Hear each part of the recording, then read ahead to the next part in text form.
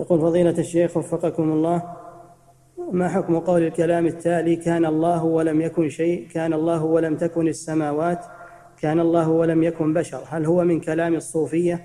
وهل هذه عقيدة صحيحة؟ وهل يجوز أن أتوسل لله بهذه الكلمات؟ أما كان الله ولم يكن شيء معه هذا حديث صحيح. كان الله ولم يكن شيء معه وأما الزيادات هذه فلا أصل لها. نعم. تفاصيل ما لها أصل. لم يكن شيء معه هذا عام يكفي. نعم.